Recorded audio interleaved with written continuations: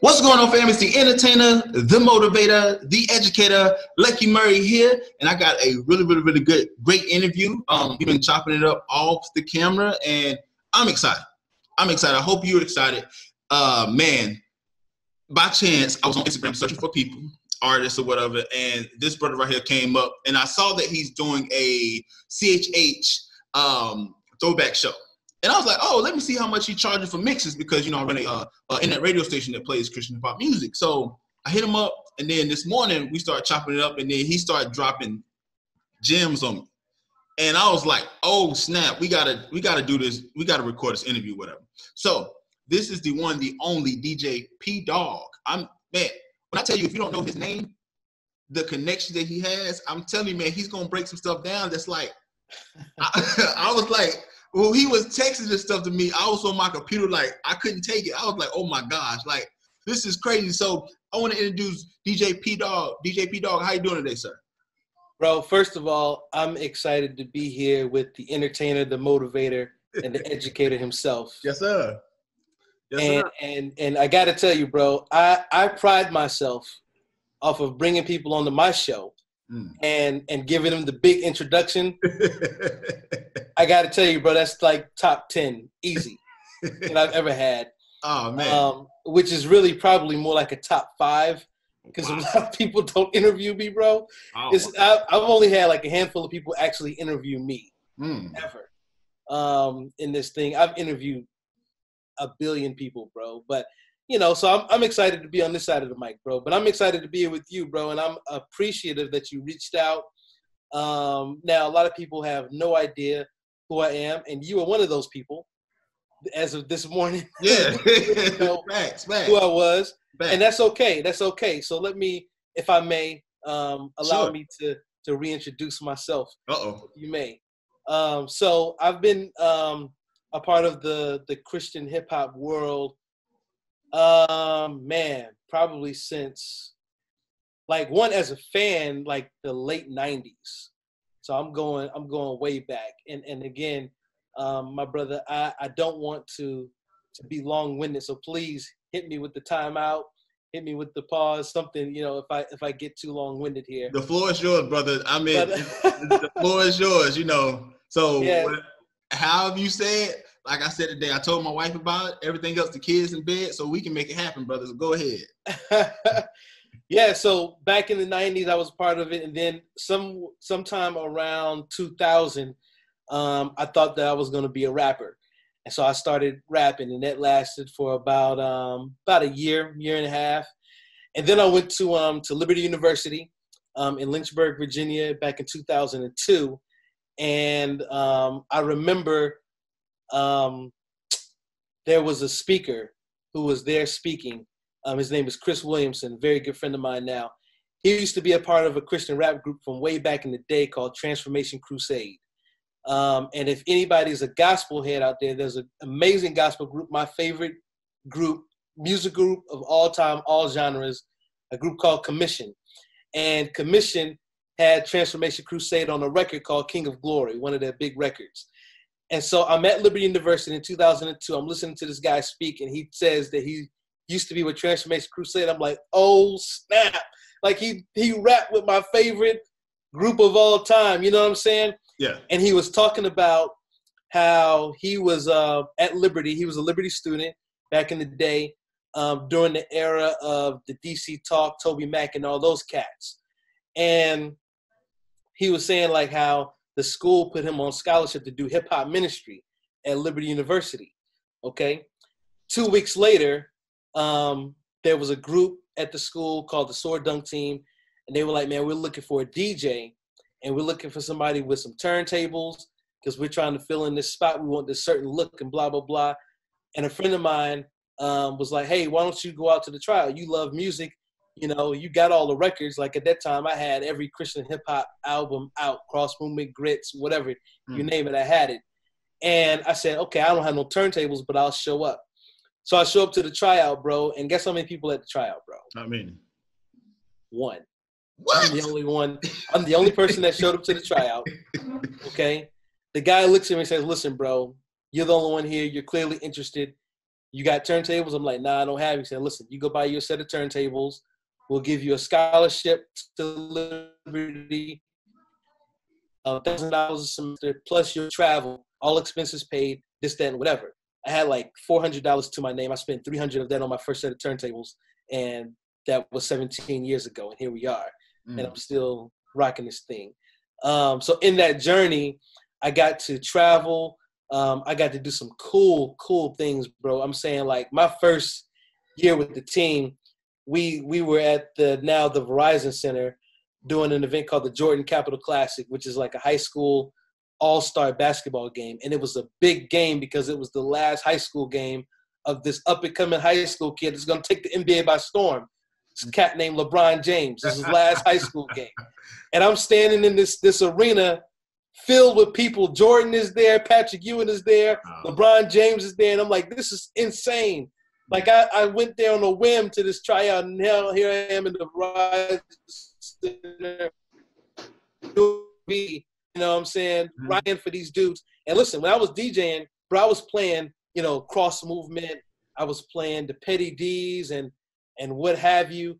If those names even mean anything to a lot of you, I'm taking it way back.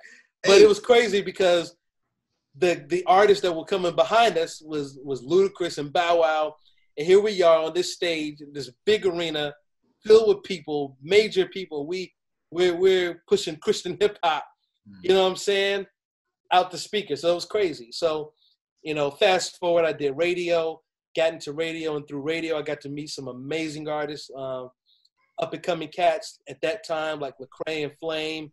Um, had Cross Movement on my show, brought them to Liberty a couple of times. A lot of traveling. KJ52's been on there. Um, I mean, you just about name any at this point, any old head in Christian hip hop, I've had him on my show. Wow. You name them. I mean, give give me a come on, Lucky, give me a try here, bro. I'm gonna give Maybe you. Uh, so you probably had the most of Reach records on there, like I've Trevor, had everybody. Dashi. Oh, oh yeah, so I've had everybody from Reach, with the exception of their current new roster. Gotcha. So you had so, the Rockers. Oh, me. Uh, yeah, yeah, yeah, yeah, yeah. And then you had um Derek Minor, probably when Absolutely. he was pro. Uh, Canon, of course. Yep. Um, did you have the whole Reflection Music Group uh, with uh, him, Tony Tillman? Uh, yep.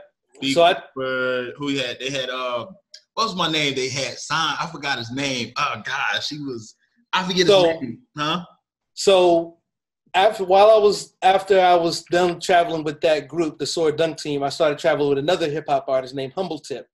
Mm. We started out at Liberty, and yep. um, we started traveling together. And then after I was done with him, I started traveling with uh, with Lecrae and Reach Records. So everybody that was on that roster from the 2010s to, you know, again, I worked with everybody on that roster except for their current new, the new waiver guys. So like, what up, RG? Um, I've done a few small little things with 1K Phew. Not a whole lot to say. I've done something. Um, you know, one day I haven't done anything with her. Um, but everybody else, you know, from you know, Lecrae, Tedashii, Sho Baraka, KB, Andy Mineo, Derek Minor, um, all those cats. I've done stuff with Flame, Thizzle, um, R. Swift. Um, you know, I, the list goes on. Ambassador from Cross Movement. I, I mean, I've DJ for all these guys. You know, um, over the years, and so I've seen and heard a lot, bro. so, and you know, and, and the crazy thing is that you came in with a time where Christian hip hop was different. It was more so theology based, where you know you had to be heavy in mm. scripture.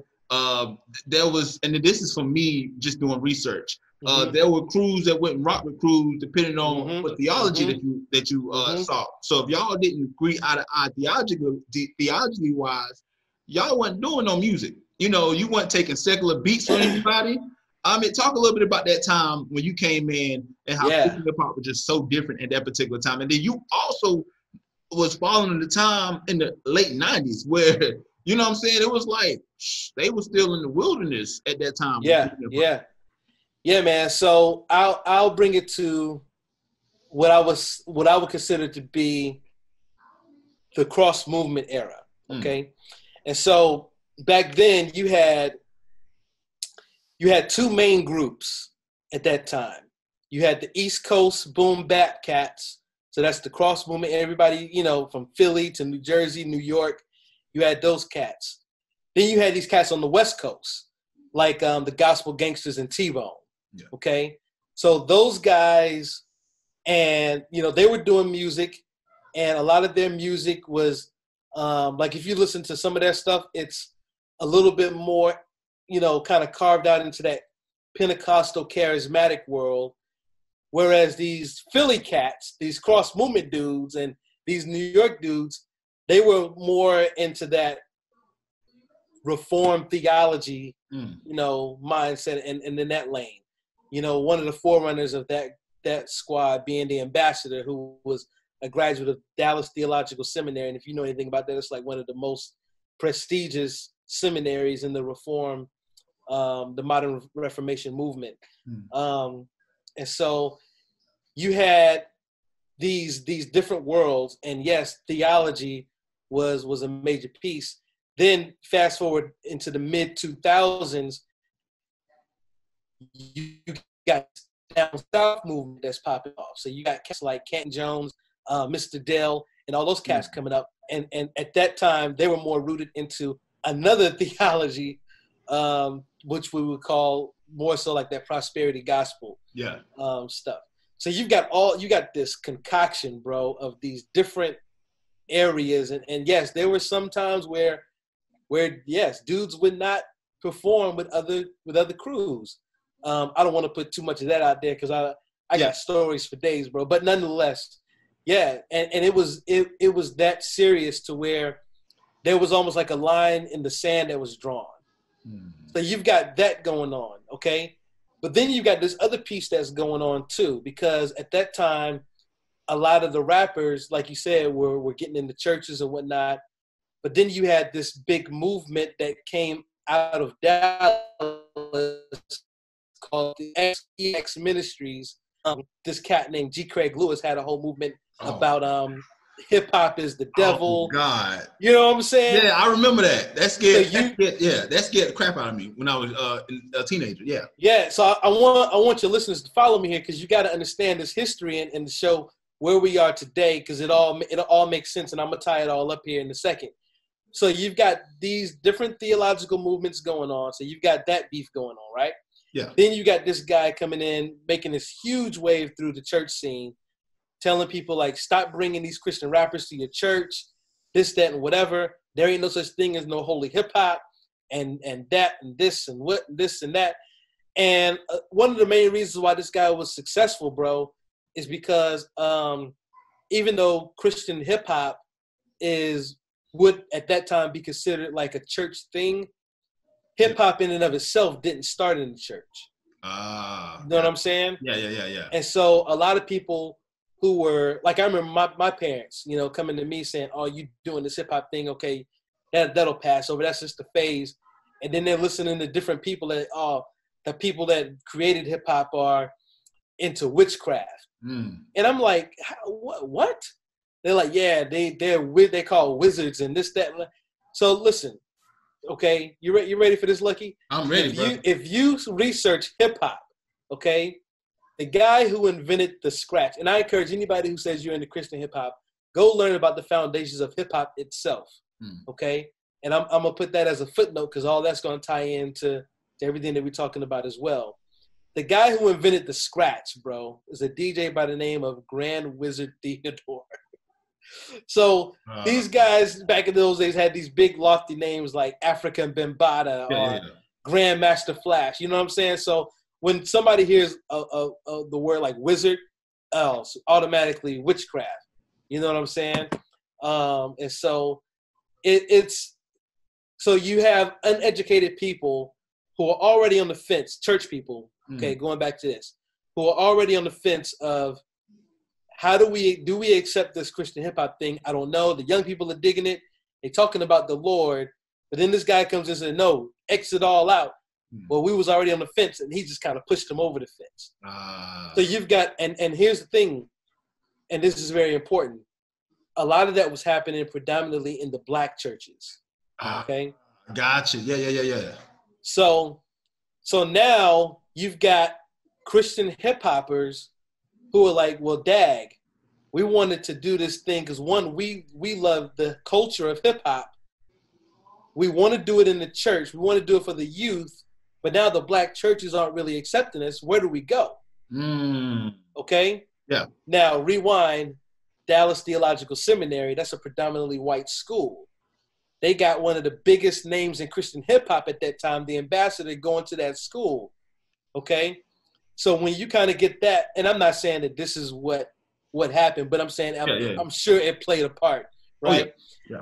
When you've got a, a school like that, that's like yes, yes, because G Craig, they ain't hearing G Craig.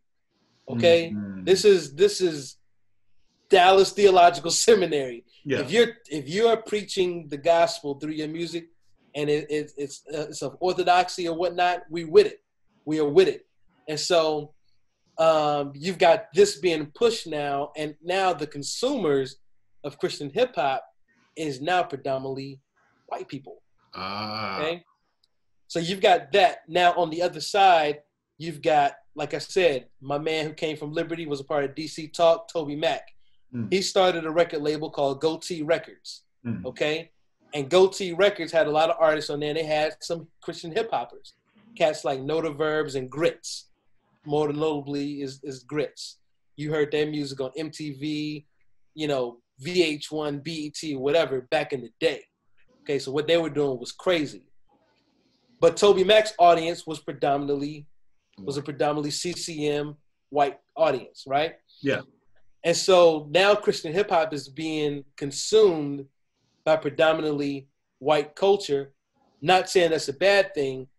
However, again, if you understand hip hop, hip hop in and of itself started as a voice for the voiceless, Mhm. right? Yeah. It started out for, you know, people telling stories to their music. So when you hear like it was all a dream, I used to read Word Up magazine. So deep in the limb, you know, you're hearing those lyrics, you you hear people telling their stories. You know what I'm saying? And that's what hip hop was all about. It was like the news of the hood, what was going on in the South Bronx and in the Queens and you know, in, in those areas in the boroughs and then over on the West Coast, what was happening during the Reaganomics and the crack epidemic and whatnot. This is how they're getting the news out of what's going on in their hoods and whatnot. That's hip hop, right? That's a part of hip hop culture. Also, part of hip hop culture is the outcasts, people who you know were not down with the disco era, trying to figure out how to do all this. And hip hop started with the DJs. Got to say that. Got to send Yeah. big shout out to to the one and only Mr. Kool Herc. Always got to do that because without him, bro, we wouldn't like I wouldn't be doing what I'm doing. Grandmaster Flash, I wouldn't have two Technics 1200s. Mm. Like these guys are the pioneers. Um, and so, yeah. So to kind of bring it all the back where we are here with Christian hip hop. So you've got this this movement that's happening, um, and I want to address one of the things that you said, and I think this kind of plays a part into it as well Mhm. about the the individuals who seem like to be the chosen ones, right? Yeah. And so let me tell you where that comes from. It, it's a music thing in general, okay? And I tell artists this all the time. And it took me to actually get into that world of being in there, in the grit, in the trenches, at the offices in Atlanta with Reach Records to see how this thing really, really, really, really works, right? So when I started seeing how the business side of all this works, I said, okay, this ain't just me picking up the phone, calling the the local youth group say hey can you bring me in a rap for 50 bucks like i'm watching how the music industry is working and one of the beautiful things that these guys did is they created a fan base and when you create a fan base you're able to monetize off of that fan base Mm. you know what i'm saying and their fan base was based off of a movement 116 romans 116 unashamed of the gospel through that um, they they just blew up. And a lot of people don't even know this, bro. Like Lecrae before these cats was big, man. Actually, Lecrae didn't even he wasn't even trying to be a rapper. This dude made real talk because he wanted people to hear his beats Mm. because he made beats. You know what I'm saying? yeah. He he just want this. These cats were rapping for um, underprivileged kids out in Missouri at a camp called Kids Across America. You know what I'm saying? That's how that's how I got to know him because cats from Liberty used to go out there as counselors and would come back to me and say, "Hey, you heard of this guy Lecrae. I'm like, the heck is a Lecrae? Is that his real name? like, what is what is that? Yeah. You know, um, you know. So, yeah, man, it's it's there's a lot. Um, yeah, there's there's a lot. There's a lot, and I think I hope that I don't even remember what the question was, but um, yeah. No, no, we can definitely piggyback off that because I, I think that what G. Craig Lewis did, because like I said, I was a teenager when somebody's like, yo, you know hip hop's for the devil. We was like, what? They was like, watch this.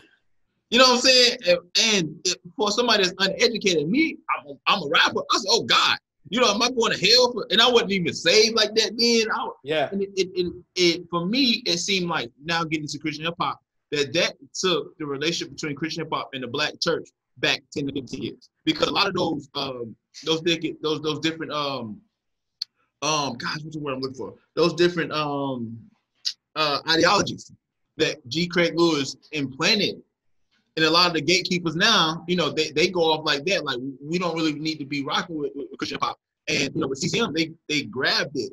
Um, so so you saw the shift. Um, and then like you said, a lot of these guys were just rapping just to, you know, do it for the Lord and not really get nothing back from it.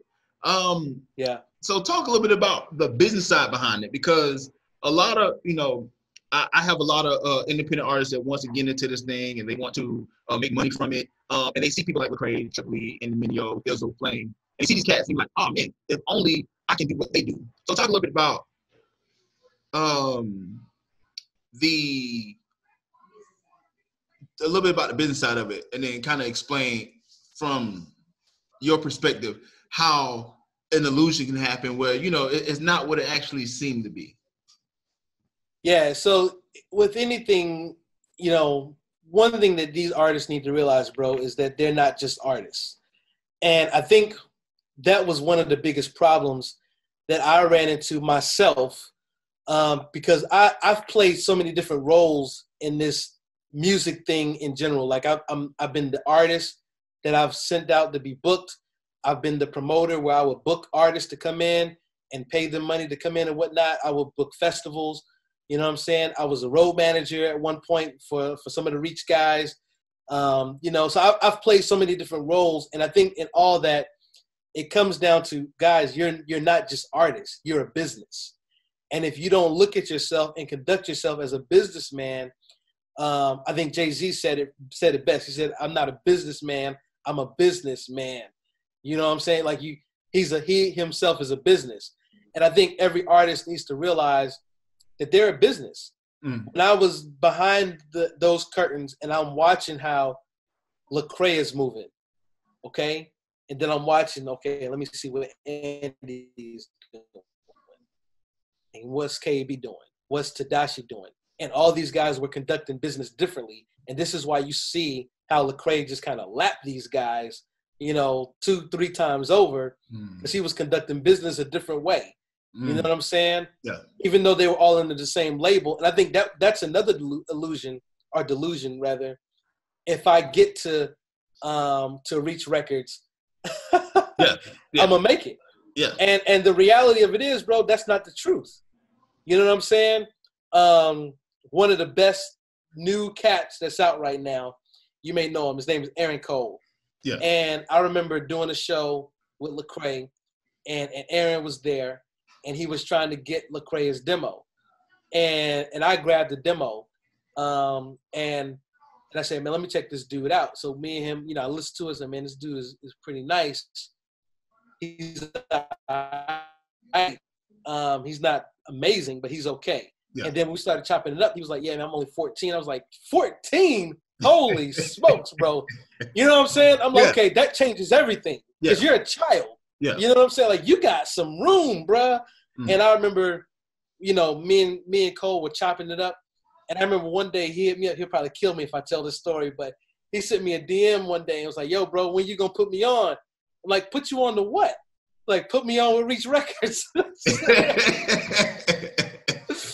I was like, "Bro, it don't it don't work like that, man. Mm. It don't it don't work like that." And and I was trying to help him understand, like, even if Reach Records do pick you up, bro, you still got to work your butt off. Yeah.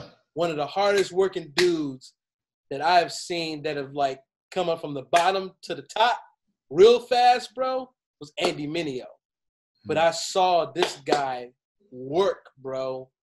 Like, dude was working, bro. Like I remember we did our first tour with Andy, and I've known Andy eons, but I got I got demos in my inbox from early 2000s where he was C-Lite and Alex Medina, um, you know, one of the guys who used to produce for Reach back in the day, was sending me demos from from C-Lite, you know, asking to play, asking to get him played on my show. Um, and when he, when he came out, you know, as Andy Mineo, right before formerly known it dropped, we went on a tour with Lecrae called the Rehab Tour, mm. and I remember working with Andy. He had his set, man. He was ready, and I was DJing for that tour. Um, and so I was DJing for him, and, and Thizzle was with us as well. And Thizzle was like, "Dude, this dude Andy is beast." He's like, "I got to go watch his show every night because it don't get old." I said, "Bruh," I said, "Dude, like he was." He was being brought out on that tour as like a pre-show act okay? And he was killing it. The next year with Reach, he had dropped the full length album and he came out as an opening act, okay? The next year, he was co headliner, mm. okay? I watched this man work his butt off. Like if anybody knows Andy Mineo's been following like the Saturday morning cartoons. Yeah, yeah, yeah. All that that was all him, bro. That was all him. That wasn't the label. That was all him. Mm. This man worked. We would be out on tour, and we would be stopping in the city, and and I was like, "Yo, Andy, where you going, bro?" He's like, "Yo, man, I got to go write this album." You know, go in the hotel room. This dude got the whole situation set up to to a makeshift. He working. Mm. You know what I'm saying? Like I saw dudes. You know, there were cats who were hanging out. You know, and rightfully so. But I saw a dude working. And so you've got to work and grind. And that's what I was telling Aaron Cole. And then I brought him out to do some some shows with me because I was doing some of my solo stuff at that time. And I would say, hey man, come out, let me bring you out and kind of help get your name out there a little bit um, out here at Liberty and whatnot. and he came out, man, real humble dude. And, and I remember having this long conversation. I think he recorded, his dad recorded it and posted it up on YouTube of me just kind of sharing those nuggets. Like you've got to take care of your own business. Mm. You know what I'm saying? Like yeah. you, you just have to. If you think because you get on the front page of Rapzilla, okay, and and I've been rocking with Rapzilla since day one. Okay, when Rapzilla was a yellow site. okay, I'm talking about when my man Phil Rood was going by the name DJ Zilla. That's how that's how far back I go with Rapzilla. Nuggets right here, people. Okay. Nuggets right here. DJ Zilla. DJ Zilla. You know, shout out to my man Phil Rood. He's no longer with Rapzilla. He he hmm. sold it off, but he he's and he was a kid, bro. He was a child, dude. He was like, gosh, man, I'm I'm probably gonna get his age wrong. He had to be no more than 16 when he started Rapzilla.com.